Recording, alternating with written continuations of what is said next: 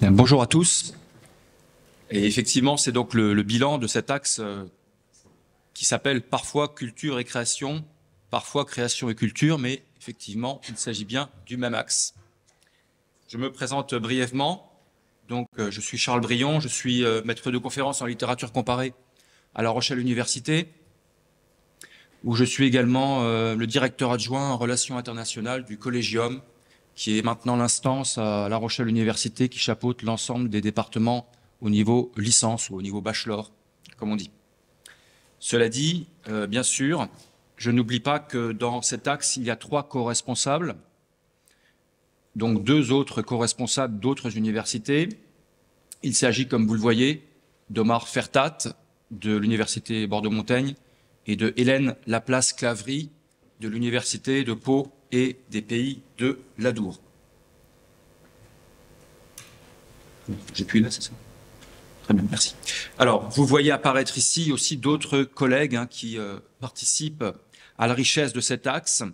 Et donc, euh, l'important ici, c'est de constater euh, notamment la présence de collègues, bien sûr, d'autres universités que celles déjà mentionnées, celle de Limoges, celle de Poitiers, et vous voyez également la présence de Sciences Po Bordeaux. Oui, je suis pas un grand numériste, hein. je sais pas si le mot existe, comme vous allez vite le constater. Alors, euh, commençons donc par les activités. Euh, il y a eu un moment très important qui a eu lieu euh, en juin 2022, euh, l'après-midi en fait de l'inauguration du réseau, donc en juin. Cet après-midi-là, suite à une discussion très fructueuse, nous avons défini le sujet d'un premier atelier qui va avoir lieu très prochainement, euh, donc en janvier 2023, dont, dont je reparlerai euh, ultérieurement. Et euh, d'ores et déjà, nous avons également euh, pu euh, parvenir à projeter un colloque international qui aura lieu cette fois en fin d'année 2023, dont je reparlerai également ultérieurement euh, et déjà aussi projeté une journée d'études en partenariat avec un autre axe, qui est l'axe transfert, à partir des maisons d'écrivains, parce qu'il y a un véritable maillage hein, des maisons d'écrivains euh, dans cette région Nouvelle-Aquitaine. Et c'est la notion de modèle des maisons d'écrivains qui nous intéressera lors de cette journée d'études ultérieure. Alors, une des autres grandes richesses de cette année a été euh, de faire la connaissance de grands acteurs du monde artistique et euh, je les cite d'autant plus avec plaisir qu'ils qu sont présents. Hein. Donc il y a nos amis du théâtre du Versant de Biarritz, dont nous avons fait la connaissance, qui sont là, je les reconnais.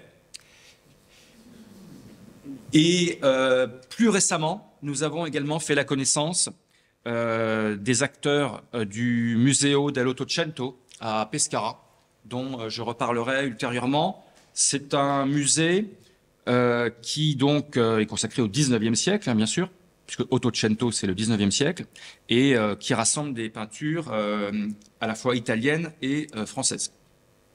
Alors, j'ai envie de dire que au fur et à mesure de l'année, se sont dégagés deux sujets majeurs d'intérêt. Le premier donc, c'est celui qui s'est dégagé de la journée de réflexion de juin.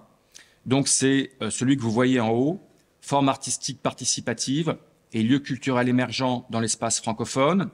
Et après, euh, les discussions avec donc les acteurs artistiques majeurs dont j'ai parlé, c'est-à-dire le théâtre du Versant à Biarritz et le Museo dell'Ottocento à Pescara, euh, nous ont conduit à penser à un autre sujet majeur dans ces années à venir, qui sera, comme vous le voyez, histoire et évolution d'institutions culturelles et de lieux de création, dans les cas où la francophonie et la francophilie euh, sont vraiment au centre hein, des projets artistiques. Alors concrètement maintenant, vous allez retrouver donc les éléments dont j'ai parlé. Donc dès le 5 janvier 2023, donc c'est extrêmement proche, hein, aura lieu donc un atelier en ligne, forme artistique participative et lieux culturels émergents dans l'espace francophone. Euh, cet atelier en ligne euh, donc se fait en distanciel à partir d'un lien. Donc la communication a été faite dans les universités respectives euh, et, et, également elle, va être faite par Francophonéa. Donc vous êtes tous invités bien sûr à participer hein, à cet événement euh, en distanciel qui aura lieu grâce à un lien Zoom. Hein. donc comme vous le voyez très prochainement. et à la fin de l'année cette fois, donc en novembre 2023, fin novembre et début décembre pour être exact, aura lieu le colloque international L'artiste face au défi des différences dans l'espace francophone, qui sera organisé à Biarritz en collaboration donc avec le théâtre du Versant. C'est un colloque euh, de grande ampleur puisqu'il durera cinq jours, dont deux jours euh, de colloque universitaire. Alors, ce que euh, souligne également cette diapositive, c'est que notre axe a bien sûr une autre utilité, c'est de financer des projets qui nous sont soumis. Alors, je profite de cette occasion pour encourager, bien sûr, tout le monde à nous adresser des projets que nous recevrons et examinerons avec plaisir, puisque c'est également, bien sûr, l'un des buts de cet axe. Donc, on a reçu euh, de nombreuses demandes déjà, dont une qui est euh, particulièrement mise en valeur ici, puisque c'est celle qui est portée par André Magor, qui est présent et que vous avez entendu euh, précédemment. Donc, c'est la demande qui porte sur un colloque international qui aura lieu à Poitiers en juin 2023, intitulé Quel avenir en partage entre les peuples acadiens, québécois et autochtones? Euh, Manifestation d'ailleurs euh, à laquelle participe également La Rochelle Université. Alors, deux publications scientifiques sont d'ores et déjà prévues. La première, Onésime reclus aux origines de la francophonie, euh, sera principalement l'œuvre des collègues palois, puisque Onésime reclus est un basque. Hein. Euh, donc j'ai cru entendre qu'il en avait été question hier, où j'avais pas pu être présent pour des raisons de cours et de réunions à La Rochelle. Et donc, euh, comme vous le savez peut-être, c'est Onésime Reflux qui, euh, semble-t-il, est le, créateur hein, de ce terme même de francophonie.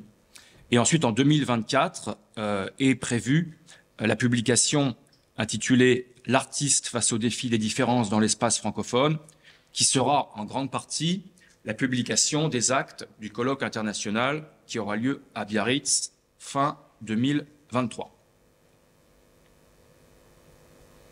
Alors, deux, remarques pour, euh, pour, conclure déjà. La première, c'est que comme je l'avais expliqué en, juin, lors de ma prise de parole, les, champs artistiques sont en fait extrêmement nombreux hein, dans cet axe, dans le cadre de la région. Donc, il n'est pas forcément facile, euh, dans le cours d'une année, j'ai envie de dire, de donner la place suffisante à tous les domaines artistiques en même temps. Et je pense que ce que nous commençons à voir, c'est qu'en fait, selon les circonstances, selon les opportunités, ce sera tantôt tel domaine, au pluriel hein, quand même, tantôt tels autres euh, qui seront mis en avant euh, par un système d'alternance hein, qui, reste à, mettre en place. Euh, et le but sera quand même que, évidemment, tous les champs artistiques soient bel et bien pris en compte par cet axe culture et création. Et la, deuxième remarque que je voudrais faire, c'est que dans le cadre de nos réflexions, nous souhaiterons, nous souhaiterions aussi que euh, certains des financements puissent être, euh, puissent aller à des doctorants euh, qui travailleraient en lien avec les thématiques de Francophonéa, notamment par exemple un, doctorant ou plusieurs qui, qui, qui justement travailleraient sur le, théâtre du Versant, hein, qui est déjà un théâtre qui œuvre depuis un certain temps à Biarritz, et dans euh, cet atelier euh, que, qui aura lieu en janvier, des doctorants hein, seront également présents pour participer à cette, à cette journée de recherche.